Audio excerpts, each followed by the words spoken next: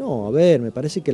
si hubieron algunas diferencias se mostraron en, en la interna, pero este no es un momento para mostrar diferencias, al contrario, es para sumar esfuerzos, para ver qué es lo mejor para los sanjuaninos, para los habitantes de la capital, para quienes la visitan, eh, y ahí es donde nosotros vamos a poner la energía, no en las diferencias, este, porque la verdad que somos parte del mismo equipo, eh, después, por supuesto, él le va a dar su propia impronta, y me parece que está bien, es como tiene que ser, pero la verdad que no tenemos... ¿Han hablado de contención para algunos funcionarios que se han venido desempeñando? Eso llegará en, su momento y, dependerá mucho también de él. Eh, cuando uno se hace cargo de un municipio, eh, es importante que lo acompañe gente de, su confianza y gente que sean leales hasta el final del mandato.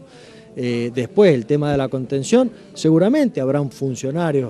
funcionario que son míos, que a lo mejor a él le pueden venir bien, que se están desarrollando bien y que pueden amalgamarse muy bien con el equipo que venga, pero será una decisión del intendente que venga. ¿Le ha hablado de su futuro o él le preguntó? No, no, no, no, tampoco es un tema que yo lo tenga que conversar con, con Emilio, más allá de la relación que tenemos, este, que, que, es una gran relación, pero la verdad que no es un tema que hayamos